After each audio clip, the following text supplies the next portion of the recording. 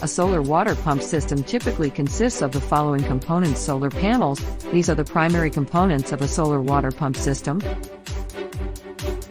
They capture sunlight and convert it into electricity through a process called photovoltaic PV effect. The generated electricity is used to power the water pump. Water pump The water pump is responsible for pumping water from a source, such as a well or borehole, to the desired location, such as a storage tank or irrigation system.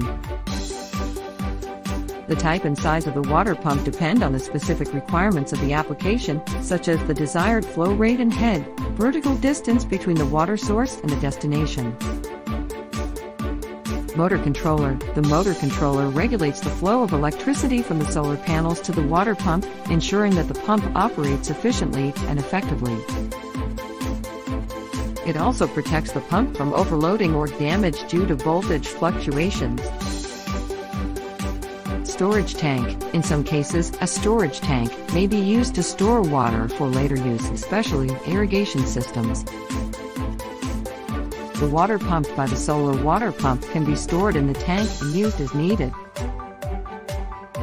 Pipes, valves, and fittings, these are used to transport water from the water source to the destination, such as the storage tank or irrigation system.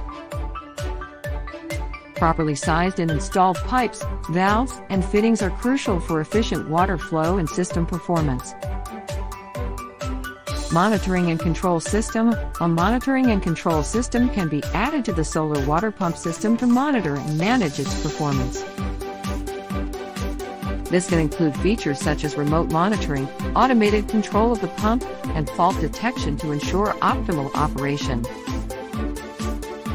Optional components depending on the specific requirements of the application, additional components such as filters, pressure regulators, and backflow preventers may be included to ensure proper water quality and system protection.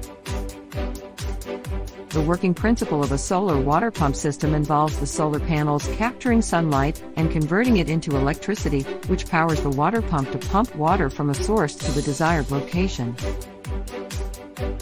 The system operates during daylight hours when sunlight is available, and the pump may need to be sized correctly to match the solar panel capacity and the water demand of the application.